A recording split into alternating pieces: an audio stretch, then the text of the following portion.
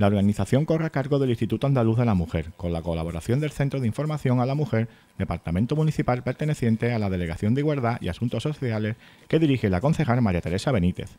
La jornada se dirige principalmente a educadores, miembros de las fuerzas y cuerpos de seguridad del Estado, juristas, profesionales de servicios sociales y centros de atención a las mujeres, y representantes de asociaciones de padres y madres de alumnos, así como de otros colectivos sociales. Benítez recalcó el interés de esta jornada, a la que están invitados todos los ciudadanos interesados, si bien se centrarán en aspectos que afectan al trabajo de los profesionales de este campo.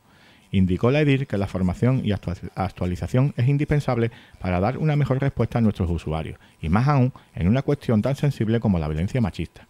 Benítez agradeció a Lian el haber elegido a San Roque para esta jornada, que espera que consiga un amplio respaldo de asistentes. La jornada comenzará a las 9.30 horas del próximo lunes y finalizará a las 14 horas.